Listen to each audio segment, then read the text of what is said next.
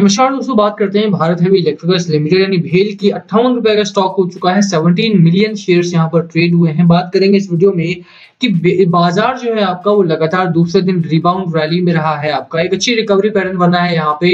और खबरों की भी बात करेंगे यहाँ पे। ओमिक्रोन को लेकर के बड़ी चर्चा चालू है बाज़ार में। ट्रेंड रिवर्सल की बात हो रही है कि निफ्टी फिफ्टी आपका यहाँ से ट्रेंड रिवर्स करता हुआ दिखाई दे सकता है। क्या करना है आपको भेल को लेकर के स्पेसिफिकली क्योंकि बाज़ार में जो गिरावट होगी तो भेल में उसका असर आपको साफ़ देखने को मिलेगा। गिरावट यहाँ पर भी आपको फेस करनी पड़ सकती है। तो ऐसे में क्या स्ट्रेटजी को फॉलो करें? भेल में, भेल को लेकर क्या बड़ी खबरें आई हैं, उसकी भी चर्चा होगी। चलिए स्टार्ट करते हैं। उससे पहले अगर आप चैनल पे नए हो प्लीज़ चैनल को सब्सक्राइब कर दो। हंड्रेड बारह आइकन ताकि आपको नोटिफिकेशन मिल सके। चलिए शुरू करते हैं। थोड़ी सी फंडामेंटल्स की भी बात करेंगे यहाँ पर आज हम। सबसे पहले अगर आप बात करते हैं तो स्टॉक अभी भी आपको एक अच्छे सपोर्ट जोन के करीब में बना हुआ है। जो अच्छा स्ट्रॉन्ग जोन है, वो आप fifty one fifty two rupees के आसपास सपोर्ट है यहाँ पे। स्टॉक अट्ठावन रुपए में मिल रहा है और पहला टारगेट जैसे मैंने आपको पहले भी बोला है, पहला target is around sixty sixty four के आसपास का रेजिस्टेंस है सिक्सटी एट का टारगेट आप लेकर के चल सकते हो। And again seventy nine eighty rupees के आसपास का दूसरा टारगेट होने वाला है। जहाँ तक रेजिस्टेंस की बात करें let me mark that too यहाँ पर है आपका रेजिस्टेंस जहाँ से स्टॉक आपका वापस जाता है हर बार। अभी के लिए अगर आप देखोगे तो स्टॉक जो है, वो बहुत स्ट्रॉन्ग जोन में नहीं है। एक न्यूट्रल न्यूट्रल पैटर्न है और न्यूट्रल रहता है अगर आने वाले एक दो महीने भी, तब भी मुझे कोई प्रॉब्लम नहीं है कि भेल में आप निवेश करो। क्योंकि it's better to not lose capital than to lose capital and not earn any profit अगर आप बहुत जल्दी बाइंग कर लेते हो किसी स्टॉक में और पैसा लूज करते हो, इससे बेहतर तो यही है कि यार ठीक है, कोई प्रॉफिट नहीं आ रहा है but we are safe in this zone थोड़ा सा सेफ़ रहोगे तो ज़्यादा बेहतर महसूस करोगे आप, क्योंकि कैपिटल रहेगी, आप लंबा स्टॉक मार्केट में चलोगे, बहुत लंबा गेम खेलना है अपन को यार। तो वो समझ करके आप निवेश कर सकते हो यहाँ पे। साथ में अगर आपने ऑलरेडी बाय किया हो तो बिल्कुल यहाँ पे बने रहने की मेरी सलाह रहेगी। जहाँ तक बात रही चार्ट की 46 का आरएसआई है, आपका बहुत गजब का आरएसआई है और मैगडी की चर्चा जहाँ पर हो तो मैगडी आपका strongly bearish to neutral zone में। हिस्टोग्राम अभी भी डाउन साइड में यानी कि बिकवाली जो है वो बाज़ार में अभी भी जादू है। और बाज़ार की बिकवाली का ही असर है कि भेल में आपको लगातार यहाँ से गिरावट देखने को मिली।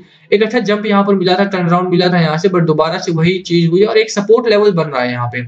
अगर यहाँ से सपोर्ट लेवल बनता है तो भीड़ में एक अच्छा खासा ट्रेंड रिवर्सल देखने को मिलेगा। साथ में बाज़ार की भी बात करें तो बाज़ार में भी जो रिकवरी पैटर्न आज बना है, उससे यही लग रहा है कि बाज़ार में भी एक अच्छा खासा टर्न अराउंड बनेगा। अभी के लिए मार्केट आपको सत्रह हज़ार डिफेंड कर रहा है और बैंक निफ्टी की जहाँ तक बात रही, पैंतीस हज़ार डिफेंड कर रहा है। मार्केट में डिफेंड जब तक कर रहा है, तब तक बहुत अच्छी बात है। सत्रह दो सौ के करीब आपका ये मार्केट आपका बंद हुआ है निफ्टी फिफ्टी यहाँ पर आप देखेंगे तो। एंड अगर अराउंड आप देखोगे तो जो शुरुआत हुई, वो मुझे आज की खासा पसंद नहीं आई है। उसके पीछे बड़े कारण है। देखिए कल का जो बाज़ार था वो सोलह, आठ सौ, सोलह, नौ सौ के आसपास से शुरू हुआ था और ऑल द वे सत्रह, एक सौ के आसपास का हाई लगाया था उसने। थोड़ा सा क्लोज डाउनवर्ड ज़रूर हुआ था बट 200-300 पॉइंट्स के रेंज बनाई थी। आज का अगर आप वहीं पर देखो तो हाई लगा है सत्रह, दो सौ पचास का और लो है सत्रह, एक सौ इकसठ का, यानी 90 पॉइंट्स के आसपास का आपको यहाँ पर अप एंड डाउन देखने को मिल रहा है। तो रेंज बहुत कम है बाज़ार में। यानी कि एफ़ आई डी आई आई जो है वो लगातार खरीदारी कर लेते हैं and then F I I आते हैं, थोड़ी बिकवाली करते हैं मार्केट को सस्टेन करवाया जा रहा है जानबूझकर ताकि एफ़ आई आई और जी आई मज़े करें और रिटेल से यहाँ पर अपना जो इन्वेस्टमेंट है वो बढ़ाए। मैं इसीलिए बोल रहा हूँ कि लगातार आपको बहुत ज़्यादा अग्रेसिव बाइंग यहाँ पर एटलीस्ट आपको नहीं करनी है। रीजन क्या है उसके पीछे? तो भीड़ आपका एक अच्छे जोन में है बट दैट डजंट मीन कि आपको यहाँ पर अग्रेसिव जाना है। अभी भी मार्केट जो है वो भाई बहुत स्ट्रॉन्ग जोन में नहीं आया है। अब देखो खबरों की बात करो आप ओमिक्रोन की बात करते हो ओमिक्रोन लगातार बढ़ा है। दिल्ली में येलो अलर्ट लागू कर दिया गया है। साथ में मुंबई में कोविड वार्ड फुल हो चुके हैं।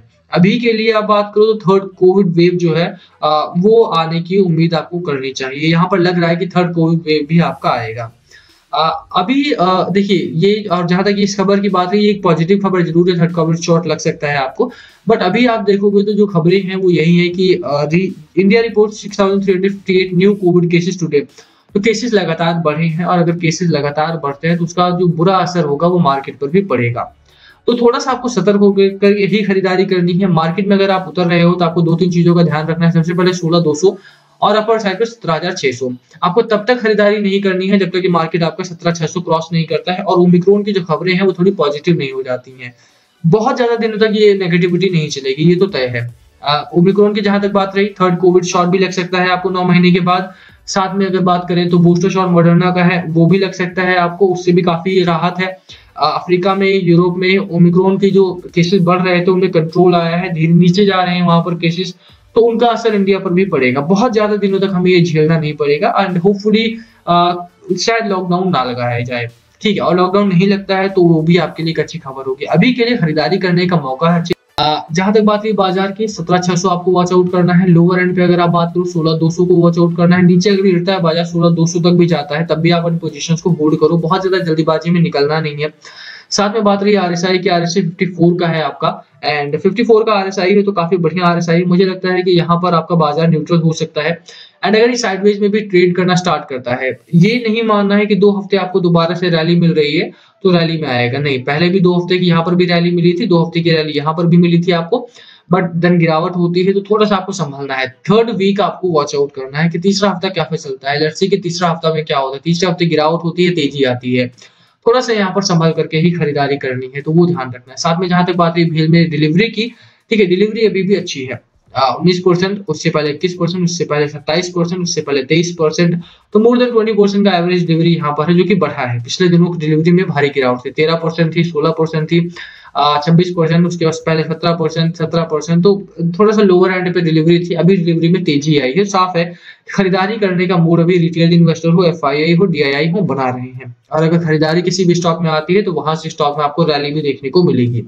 बिल्कुल अच्छा स्टॉक है। थोड़ी सी अगर फंडामेंटल्स की बात करो टेक्निकल पैटर्न अच्छा है फंडामेंटली कंपनी ठीक ठाक है ग्रोथ पर है। बहुत खराब नहीं है, बहुत अच्छी नहीं है नेगेटिव मार्जिन है स्लाइटली नेगेटिव मार्जिन है मैं बोलूँगा बट पहले से बेहतर है। और अगर जहाँ तक बात है प्रॉफिटेबिलिटी की कंपनी ने 67 करोड़ का लॉस किया था दिसंबर क्वार्टर से बड़ी उम्मीदें लगा रखी हैं भेल में। लेट्स सी कि क्या होता है, क्योंकि एक नया प्लांट भी गुजरात में ये रिन्यू करने वाले हैं, बंद पड़ा था बहुत टाइम से।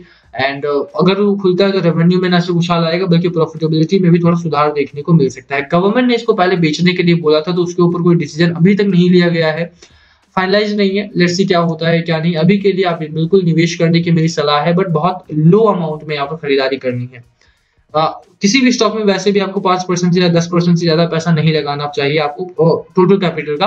बट अगर आप यहाँ निवेश कर रहे हो तो आप धीरे धीरे करके यहाँ पर खरीदारी करो। दो परसेंट एक परसेंट के आसपास कैपिटल निवेश करो। उसके बाद स्टॉक में मार्केट में जैसे तेज़ी आना स्टार्ट हो जैसे जैसे ये हर्डल क्रॉस करता है वैसे वैसे करके आपको खरीदारी करनी है। बाय करो। बाकी एफ़ आई आई का डेटा थोड़ा मैनेज करके चलो क्योंकि एफ़ आई आई अभी भी बिकवाली में है। D I I are still buying zone तो डीआई मार्केट को ठीक ठाक संभाल ज़रूर रहे हैं बट डीआई के संभालने का मतलब यह है कि एक दिन ये मार्केट में नहीं आएँगे, उसी दिन मार्केट आपको ढहता हुआ दिखाई देगा, बह जाएगा बाज़ार आपका। थोड़ा सा बाज़ार को लेकर के सीरियस रहना है कॉशियस रहना है कि बहुत ज़्यादा अगर आप खरीदारी कर रहे हो तो थोड़ा सा संभलना है उस समय पे। बाकी लास्ट कॉल ऑलवेज व्यूअर्स क्या है आपकी स्ट्रेटजी स्टॉक को लेकर के प्लीज़ कमेंट करके शेयर करना। 79 80 का टारगेट लेकर खरीदारी करने की सलाह है। वीडियो को यही खत्म करते हैं, पसंद लाइक करना, चैनल पे नए हो सब्सक्राइब के भी न मत जाना। Thank you for watching and please comment पूछना हो तो। Thank you